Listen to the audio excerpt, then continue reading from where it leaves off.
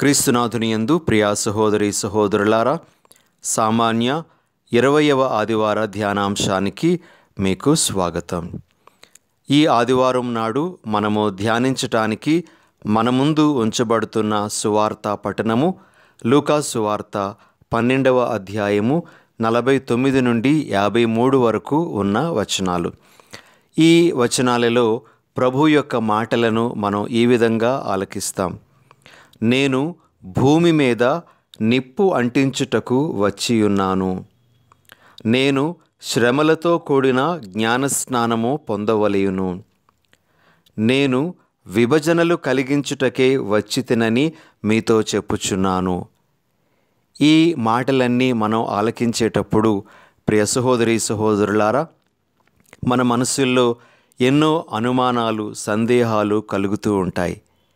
ఒక ప్రక్కేమో యేసు ప్రభువుని కరుణామయుడు అని శాంతి ప్రదాత అని మనము కొనియాడుతూ ఉంటే వేరో ప్రక్క యేసు ప్రభువే స్వయంగా నేను శాంతిని కాదు విభజనలే తీసుకొని రావడానికి వచ్చాను అని చెప్పడం మనము అర్థం చేసుకోవడం చాలా కష్టంగా ఉంటుంది.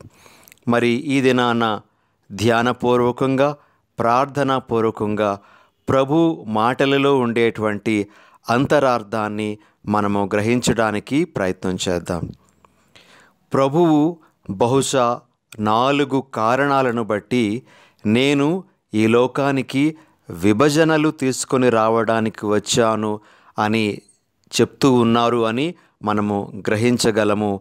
ప్రియ సహోదరి సహోదరులారా మొట్టమొదటి కారణం ఏమిటి అంటే తనను అనుసరించడం అంటే కుటుంబ సభ్యుల కంటే కూడా తనకు ఎక్కువ ప్రాముఖ్యతను ఇవ్వడం తనకే ప్రథమ స్థానాన్ని ఇవ్వడం. తనకు ప్రథమ స్థానం ఇచ్చేటువంటి క్రమములో కొన్నిసార్లు కుటుంబ సభ్యులకు కూడా దూరమయ్యేటువంటి పరిస్థితి ఏర్పడవచ్చు.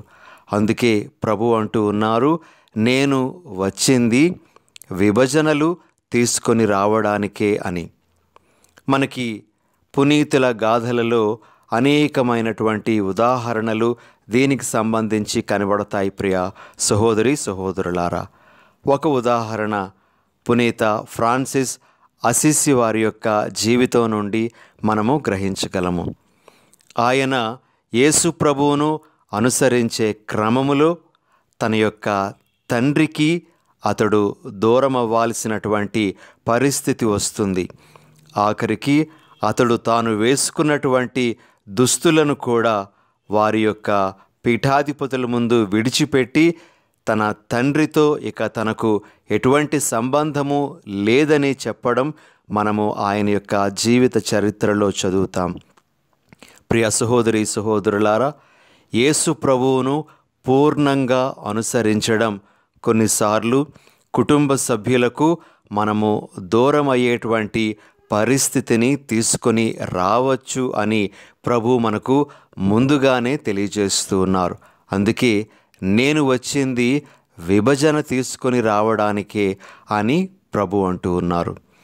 ఇక రెండవ కారణము ప్రభు ఎందుకు నేను విభజన తీసుకొని రావడానికి వచ్చాను అని చెప్తూ ఉన్నారు అని మనము ధ్యానిస్తే యేసు ప్రభు తనను అనుసరించడం విలువలను ఎంచుకొని పాటించడంలో ఉంది అని తెలియజేస్తూ ఉన్నారు. ఆ విలువలను ఎంచుకొని పాటించే క్రమములో దేనినైనా సరే త్యాగం చేయడానికి వారు సిద్ధపడతారు. మరి ముఖ్యంగా విలువలకు స్థానము ఇవ్వనటువంటి వారు ఎవరైనా సరే వారితో తెగతెంపులు చేసుకోవడానికి ముందుకు వస్తారు. తమకు విలువలే ప్రాధాన్యము కానీ వ్యక్తులు కాదు అనేటువంటి విధంగా వారు ముందుకు వచ్చేటువంటి అవకాశం ఉంటుంది. ఈ విధంగా విలువల కొరకు దేనినైనా సరే త్యాగం చేస్తారు. ఆ క్రమములో విభజన అనేటువంటిది ఏర్పడుతుంది అని ప్రభు మనకు తెలియజేస్తున్నారు కాబట్టి యేసు ప్రభు ఈ లోకానికి వచ్చింది. మనలను విలువలలో నడిపించడానికి ఆ క్రమములో మనము దేనినైనా సరే త్యాగం చేయాల్సినటువంటి పరిస్థితి ఏర్పడుతుంది. తద్వారా విభజన అనేటువంటిది కలిగేటువంటి అవకాశం కూడా ఉండవచ్చు అని ప్రభు మనకు తెలియజేస్తూ ఉన్నారు. ఇక మూడవ కారణము ప్రభువు విభజన ఎందుకు తీసుకొని వచ్చానని చెప్తూ ఉన్నారు అని మనము ధ్యానిస్తే ప్రభువును అనుసరించడం సత్యం కోసం నిలబడడంలో ఉంది. అసత్యము అసత్య బోధనలు ఒక ప్రక్క ఉంటే సత్యము సత్య బోధనలు యేసు ప్రక్క ఉన్నాయి. మరి ఆ సత్యాన్ని అనుసరించే క్రమములో అసత్యాన్ని తృణీకరించడము అసత్య బోధనలకు దూరముగా ఉండడము అనేటువంటిది ఒక రకంగా విభజన తీసుకొని వస్తుంది. అందుకే యేసుప్రభు సత్యమైనటువంటి తనను అనుసరించే క్రమములో అసత్యముతో జీవించేటువంటి వారితో విభజన రావడం అనేటువంటిది తథ్యము అని మనకు తెలియజేస్తున్నారు. ఎంతోమంది సత్యాన్ని గ్రహించినటువంటి వారు అంతవరకు తాము అవలంబిస్తున్నటువంటి విధానాలను విడిచిపెట్టడం ద్వారా అటువంటి వారందరికీ కూడాను శత్రువులుగా మారేటువంటి అవకాశం కూడా కొన్నిసార్లు ఏర్పడుతుంది. అందుకే యేసు ప్రభు తాను వచ్చింది విభజన తీసుకొని రావడానికి అని చాలా స్పష్టంగా మనకు తెలియజేస్తూ ఉన్నారు. ఇక నాలుగవ కారణము యేసు ప్రభువు విభజన తీసుకొని రావడానికే నేను వచ్చాను అని చెప్పడానికి ఉన్నటువంటిది ఏమిటి అంటే యేసు ప్రభువును అనుసరించేటువంటి వారు శ్రమలను అనుభవించేటువంటి పరిస్థితి సవాళ్ళను స్వీకరించేటువంటి పరిస్థితి ఉంటుంది. శ్రమలను అనుభవించడం సవాళ్ళను స్వీకరించడం అనేటువంటి క్రమములో ఎవరెవరైతే శ్రమలకు భయపడతారో ఎవరెవరైతే సవాళ్ళకు భయపడతారో వారందరికీ వీరు వ్యతిరేకమయ్యేటువంటి పరిస్థితి ఏర్పడుతుంది. అందుకే యేసును అనుసరిస్తున్నటువంటి వారు శ్రమలకు సవాళ్ళకు ఏమాత్రము భయపడకుండా ముందుకు వస్తారు. ఆ విధంగా వారి వలన విభజన అనేటువంటిది కూడా ఏర్పడేటువంటి పరిస్థితి రావచ్చు అని ప్రభు తెలియజేస్తూ ఉన్నారు. ఈ విధంగా ప్రియా సహోదరి సహోదరులారా తాను ఈ లోకానికి వచ్చింది విభజన తీసుకొని రావడానికే అనేటువంటి విషయాలను ప్రభు మనకు స్పష్టం చేస్తూ ఉన్నారు. అయితే ప్రభు విభజన తీసుకొని రావడం అనేటువంటిది దేనిని ఉద్దేశించి అంటే తనను అనుసరించడంలోనూ తనను అనుసరించకపోవడంలోనే ఉంటుంది అనే విషయాన్ని ప్రభు మనకి ఇక్కడ స్పష్టం చేస్తూ ఉన్నారు. కాబట్టి అనుసరించేటువంటి వారు అనుసరింపలేనటువంటి వారికి మధ్య తప్పనిసరిగా విభజన అనేటువంటిది ఏర్పడే పరిస్థితి ఉంటుందని ప్రభు ముందుగానే మనకు ఎరుకపరుస్తూ ఉన్నారు ప్రియ సహోదరి సహోదరులారా. ఇక ఈనాటి సువార్త పఠనాన్ని మనము ఇంకా ధ్యానిస్తే మన ముందు ప్రభు ఉంచుతున్నటువంటి ఇంకొక ముఖ్యమైనటువంటి సందేశం ఏమిటి అంటే యేసు ప్రభు తనను అనుసరించేటువంటి వారికి ముందుగానే వాస్తవాలను ఎరుకపరుస్తూ ఉన్నారు. వారి నుండి ప్రభువు ఏమీ దాయడం లేదు. వారికి ఏం జరగబోతుందో తనను అనుసరిస్తే వారు ఎదుర్కోవలసినటువంటి పర్యవసానాలేమిటో ఆయన ముందుగానే తెలియజేస్తూ ఉన్నారు. అవి తెలుసుకొని అప్పుడు తనను అనుసరించటానికి వారు సిద్ధపడాలి అని కూడా ప్రభు ముందుగానే వారికి ఈ విషయాలన్నీ కూడా తెలియజేస్తూ ఉన్నారు. ఉదాహరణకు ప్రియ సహోదరి సహోదరులారా ప్రభు అంటూ ఉన్నారు నేను భూమి మీద నిప్పు అంటించుటకు వచ్చి ఉన్నాను అని. నిప్పు అంటించడము అంటే దహించి వేయడము కాల్చి వేయడము. ఏదైతే దేవుని దృష్టిలో సరిగా లేదో అది కాల్చివేయడానికి దానిని దహించివేయడానికే నేను ఈ లోకానికి వచ్చాను అని ప్రభు చెప్తూ మరి ఎవరెవరైతే యేసు ప్రభువుని అనుసరిస్తారో వారిలో కూడా ఏదైతే దేవునికి ఇష్టము లేనిది ఉందో అది దహించి వేయబడుతుంది అది కాల్చివేయబడుతుంది అనేటువంటి విషయాన్ని వారికి ముందుగానే తెలియజేస్తూ ఉన్నారు. అదేవిధంగా నన్ను అనుసరించేటువంటి వాడు శ్రమల స్నానము పొందాలి అని ప్రభు అంటూ ఉన్నారు.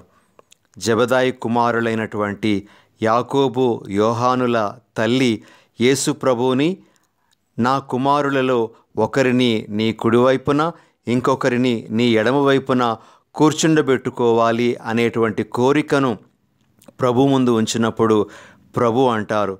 ఇదిగో వీరు శ్రమల పాత్ర నుండి పానము చేయగలరా అని. అందుకు వారు అప్పటికప్పుడు మేము పానము చేయగలము అని చెప్పినప్పటికీ ప్రభు యొక్క ఉద్దేశం ఏమిటి అంటే తనను అనుసరించేటువంటి వారు అనేకమైనటువంటి శ్రమలకు బాధలకు సిద్ధపడాలి అనే విషయాన్ని ముందుగానే తెలియజేస్తూ ఉన్నారు. అదేవిధంగా నేను వచ్చింది విభజనలు తీసుకుని రావడానికి అని ప్రభు చెప్పడంలో తనను అనుసరించేటువంటి వారు ఎటువంటి త్యాగానికైనా సరే సిద్ధపడాలి. తన కుటుంబమునైనా తనకు ప్రియమైనటువంటి వారినైనా సరే విడిచిపెట్టడానికి త్యాగం చేయడానికి సిద్ధం కావాలి అని ప్రభు తెలియజేస్తూ ఉన్నారు. ఈ విధంగా తనను అనుసరించేటువంటి వారు ఏ విధంగా జీవించాలో ముందుగానే ప్రభు ఎరుకుపరుస్తూ ఉన్నారు. ప్రభువు శుష్క వాగ్దానాలు వారి ముందు చేయడం లేదు. వారు నిజంగా ఎలా జీవించాలో వారికి ముందుగానే ఎరుకపరుస్తూ ఉన్నారు. ఈ విధంగా ప్రభువు వాస్తవాలను వారి ముందు ఉంచి వారు తనను అనుసరించటానికి సిద్ధపడాలి అని తెలియజేయడం అనేటువంటిది మనము గ్రహిస్తూ ఉన్నాం.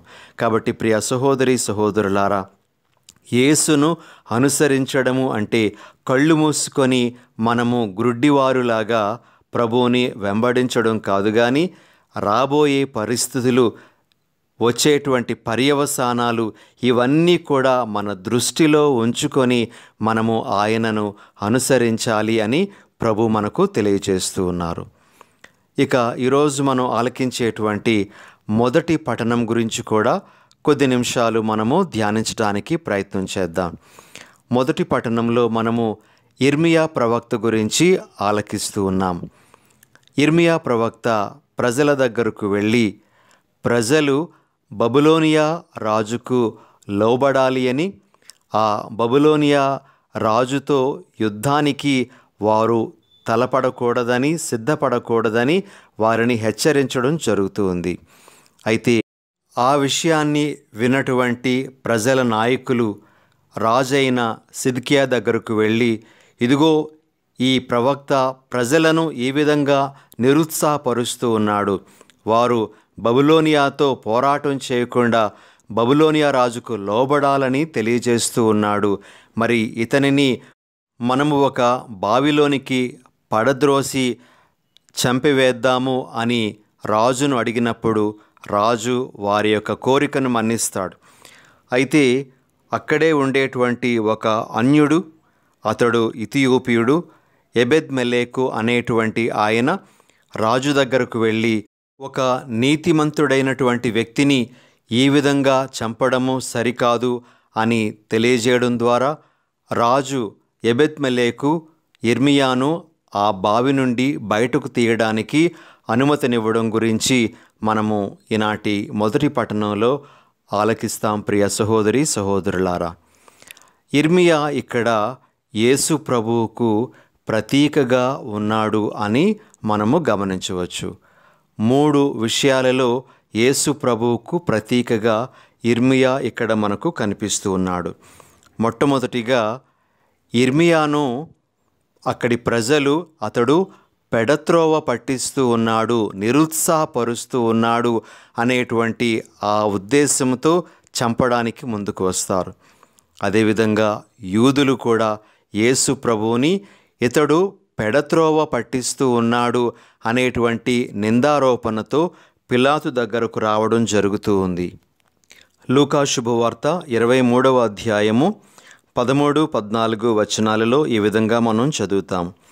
అప్పుడు పిలాతు ప్రధానార్చకులను అధికారులను ప్రజలను పిలిపించి ప్రజలను పెడత్రోవ పట్టించుచున్నాడని ఇతనిని నా యొద్దకు తీసుకొని వచ్చి తిరి. నేను మీ ఎదుట ఇతనిని పరీక్షించి తిని ఇతని మీద మీరు మోపిన నేరములు ఏమియూ నాకు కనిపించటలేదు. ప్రియ సహోదరి సహోదరులారా ఇర్మియాను పెడత్రోవ పట్టిస్తున్నాడు అనేటువంటి ఆ భావంతో అతడిని చంపడానికి ఆనాటి ప్రజలు ప్రయత్నం చేస్తే మరి యేసు ప్రభు కాలంలోని వారు కూడా యేసు ప్రభు ప్రజలను పెడత్రోవ పట్టిస్తూ ఉన్నాడు అనేటువంటి నిందారోపణతో చంపడానికి ప్రయత్నం చేశారు.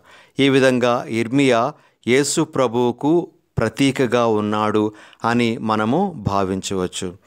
అదేవిధంగా ప్రియ సహోదరి సహోదరులారా ఇర్మియా ఒక నిర్దోషి అని చెప్పి ఎబెద్మెలేకు రాజైన సిద్కియాకు చెప్పడం జరుగుతూ ఉంది. మరి పిలాతు కూడా యేసు ప్రభు గురించి ఈ విధంగా అంటారు. మతే శుభవార్త ఇరవై ఏడవ అధ్యాయము ఇరవై నాలుగవ వచనంలో ఈ నీతిమంతుని రక్తము విషయమున నేను నిరపరాధిని అది మీరే చూచుకొనుడు అని. యేసుప్రభువుని పిలాతు నిరపరాధిగా నీతిమంతునిగా పరిగణించడం జరుగుతుంది. ఆ విధంగా ఇర్మియా యేసుప్రభువుకు ఒక ప్రతీకగా ఉన్నాడు. ఇర్మియా ఏ విధంగా అయితే నిర్దోషో నీతిమంతుడో అలానే యేసు ప్రభు కూడా నీతిమంతుడు నిర్దోషి అయి ఉండి కూడా అనేకమైనటువంటి శ్రమలను అనుభవించాల్సి వచ్చింది అని ఇక్కడ మనము గ్రహించగలము. ఇక మూడవ విషయం ఏమిటి అంటే బావిలో పడద్రోయబడినటువంటి ఇర్మియాను తిరిగి ఎబెద్మెలేకు తాళ్ళ సహాయంతో బయటకు తీసుకొని రావడం జరుగుతుంది. అయితే యేసు ప్రభువును సమాధిలో ఉంచిన తరువాత మూడవ దినాన దేవుడు తిరిగి సజీవుడుగా బయటకు తీసుకొని వచ్చారు.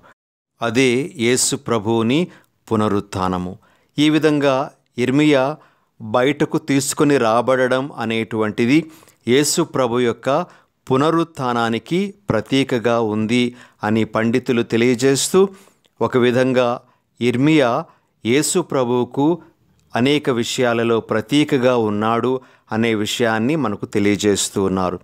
ప్రిలగు సహోదరి సహోదరులారా ఈరోజు మొదటి పఠనాన్ని మనము ఆలకిస్తూ ఉండగా దేవుని యొక్క సందేశాన్ని యథాతథంగా ప్రజలకు వినిపించడము ప్రజలను సత్య మార్గంలో నడిపించడము అనేటువంటి పనిని ఇర్మియా చేసినట్లుగా ఈనాడు దైవవాక్యము కూడా మన జీవితంలో మనము ఏ విధంగా నడుచుకోవాలి?